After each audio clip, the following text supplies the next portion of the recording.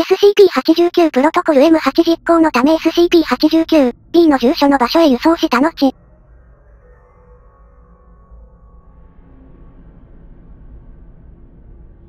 アイテム番号 SCP-89。オブジェクトクラスユークリッド、以下を参照。特別収容プロトコル SCP-89 はサイト36にある特別輸送コンテナ内に保存され、発話事象に備えて監視されます。言語学、心理学及び戦術的外交の高等訓練を受けた職員からなる機動部隊ムー89がそのような発話事象に対応するために組織されています。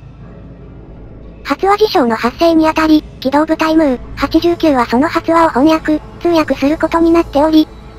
その鳥が、ここで SCP-89A と SCP-89B に指定の主要な対象を識別し、それから次のステップからなるプロトコル M8 を実行します。SCP-89A の場所まで SCP-89 を輸送し、SCP-89B にプロトコル M8 を説明する。そして、SCP-89B が自由意志でプロトコル M8 を実行する準備ができた時点で、SCP-89B が次の行動を行うことに関連して要求するどんな援助も SCP-89B に与える油を塗った木材もしくは木炭のような引火性材料とともに SCP-89A をその空洞へ差し入り。それらに火をつける。プロトコル M8 の実行の成功には落ち着いていて強制されていない状態にある SCP-89B の自由意志による横濁が必要です。同様に、SCP-89A はプロトコルの実行中は意識があり注意を払った状態でなければなりません。そのプロセスは SCP-89A に対して極めて痛みを伴いかつ致命的であるため、プロトコルの完了への干渉を避けるため、点火後は SCP-89B を拘束すること、しかし鎮静ではありません、を推奨します。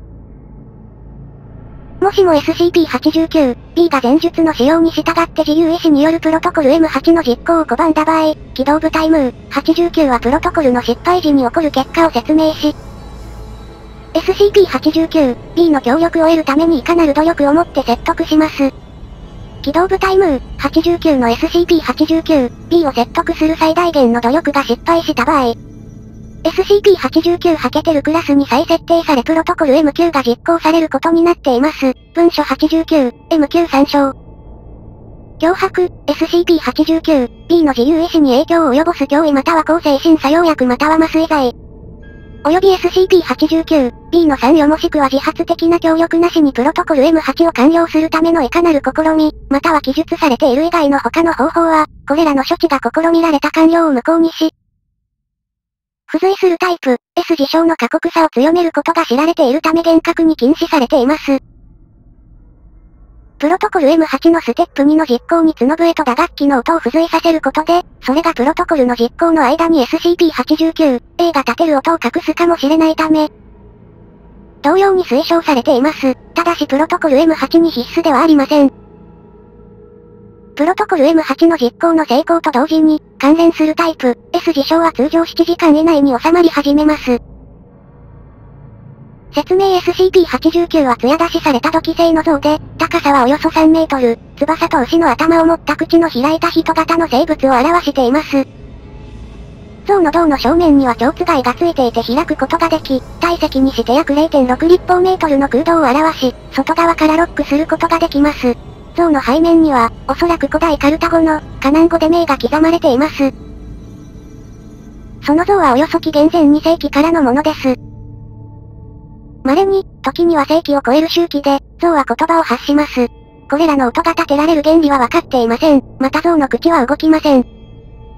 像の発話はカナン語、おそらく名文と同じ言語、で行われ、次からなります。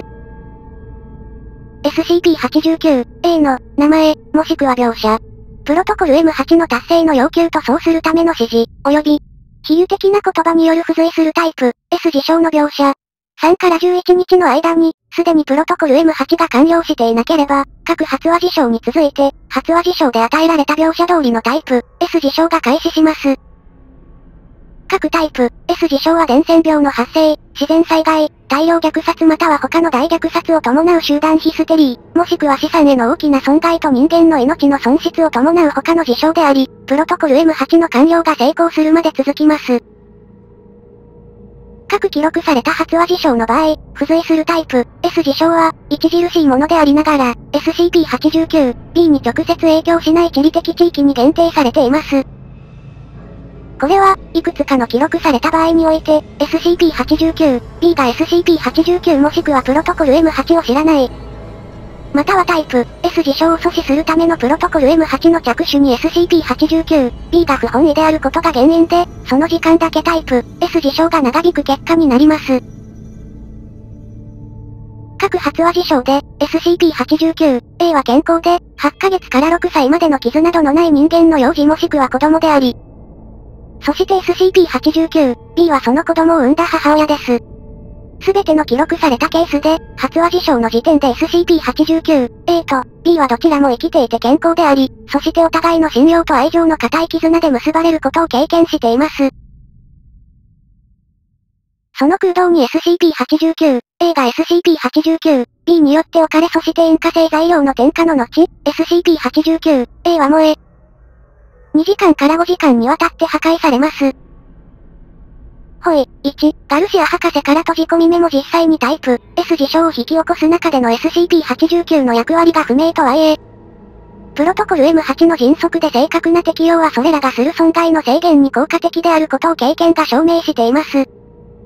パテル博士は SCP-89 がタイプ、S 事象を引き起こしているわけではなく、ただ単にそれらを予想して影響を軽くする手段を提起用しているのだと推測しています。ほい、2、財団の前身団体による SCP-89 の保護の獲得物であるプロトコル M8 の完了記録を含む、プロトコル M8 によって収容された記録されたタイプ、S 事象の部分的なリストは次の通りです。発話日1788年03月16日、発話事象におけるタイプ、S 事象の描写、炎は彼らの家を焼き尽くすであろう。いやそればかりでなく、彼らの市場、彼らの寺院、すべての彼らの住処、それらは破壊されるであろう。